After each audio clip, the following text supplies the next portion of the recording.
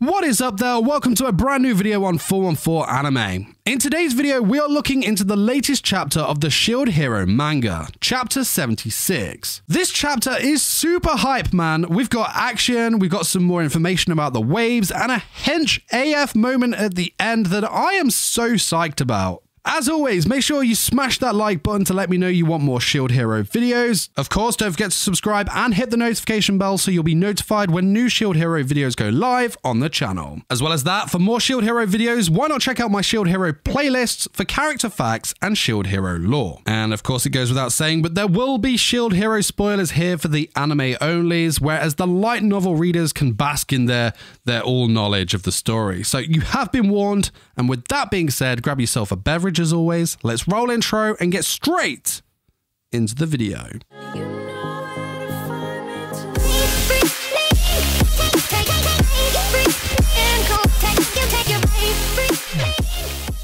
This chapter was titled The Otherworldly Wave, and yeah, we are thrown straight into the action as we are mid wave here against the boss, which is a giant elephant like motherfucker. I love these panels here. The action it depicts is true Shield Hero brilliance as Kizuna is up against the boss and Naofumi jumps in to block an attack defending Kizuna. In true counter-attacking style, Kizuna jumps from behind Naofumi and goes on the offensive as she turns to him and says, as expected of the Shield Hero, as Naofumi grins back. I love this for the fact of how confident they are in this wave. Enough so that they are having fun and also for the bond that Kizuna and Naofumi have forged during their time together.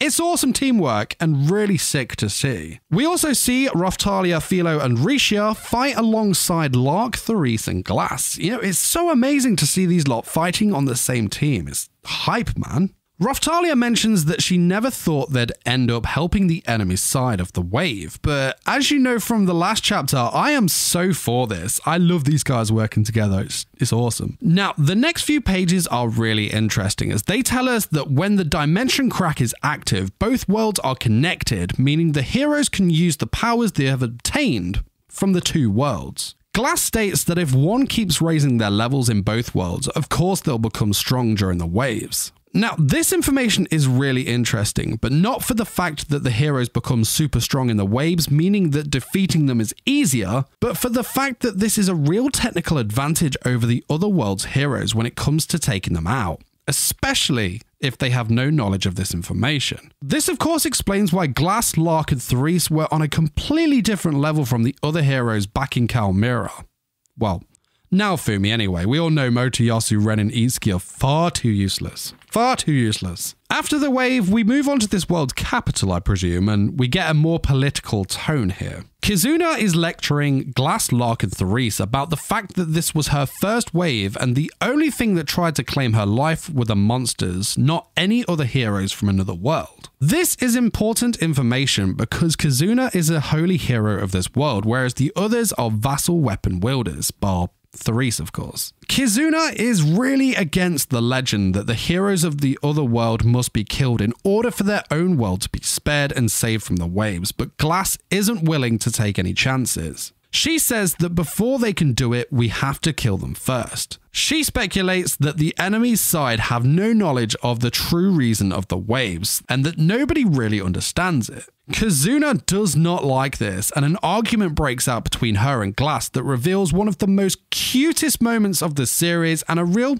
aw moment for Glass. Glass is reduced to tears defending her side of the argument, revealing just how much Kizuna and her comrades mean to her. It gives us so much more of an understanding into Glass's character, who is usually cold and to the point. Now, I'll be honest with you here, Glass has looked pretty cute since the Spirit Turtle incident, but this one panel of her is cuteness overload. Now, I really love seeing this more vulnerable, more human side to her. Naofumi, however, finds it amusing and outright laughs at her like the lovable asshole that he is. Now, I, I say asshole, he is more relieved to see this more human side of Glass and understands her motives so much clearer. I think it was also part shock at seeing Glass make that face too, as he said, so even you can make that face too. Of course, Raphtalia tries to call Naofumi out, but he's like, no, no, let me have this moment. Naofumi says that he too has people he wants to protect and he has no intention of being killed. Glass took this the wrong way and thought it was a threat, so she stands up to Naofumi before Kizuna grabs her by the cheeks, telling her that she has misunderstood the point and that it's Glass's way of thinking that she is really angry at. Now, can I just say that I love this panel? Glass was this big, bad, mysterious villain type when we first met her, and now she's just being put in her place. It's just,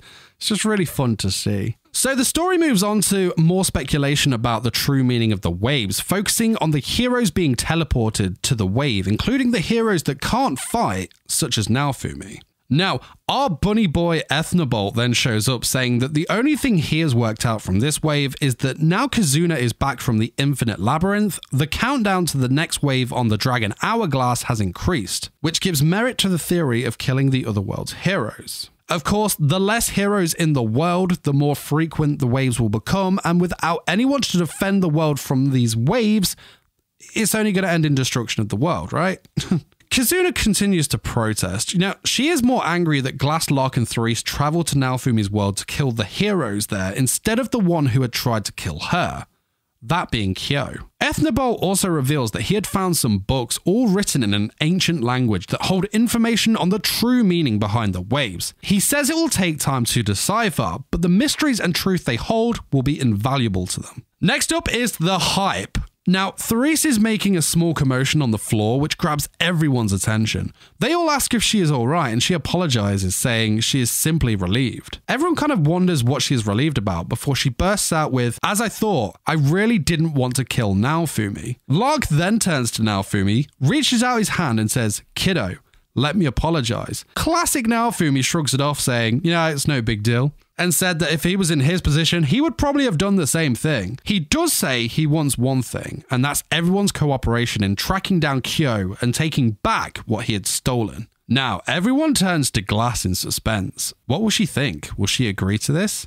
She says fine. And oh my god, this is super amazing. I've wanted these lot to be on the same team for so long, and now they finally are. I cannot wait to see what these guys are going to achieve. You know, I could go on about this, but if you watched the video for the last chapter, you'll know my feelings on this subject. All I will say for now is that this is hype AF. These lot work so well together, and you know, the beginning of this chapter gave us a slight insight into the amazing teamwork, the power, and the mutual respect they have for one another. Now, the chapter ends with an image of Kyo that looks like he is up to some sort of cloning activity, and you know, I cannot wait to see what Naofumi's group have in store for him. And there we go, that was chapter 76 of The Rising of the Shield Hero. I am so pumped from this chapter. I honestly can't wait to see what comes next for these lot. I'm really looking forward to the combat scenes, and I really want to see some banter between these lot, especially, especially between Naofumi and Lark, man. You know, these two just seem like they would be such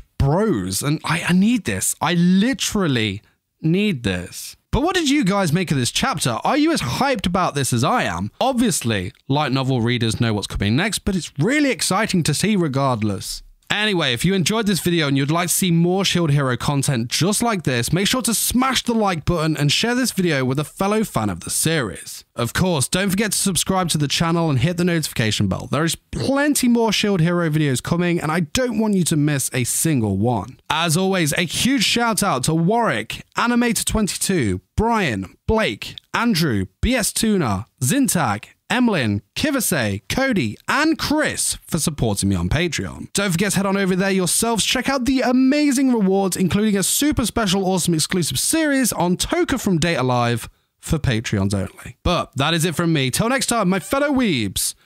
Peace!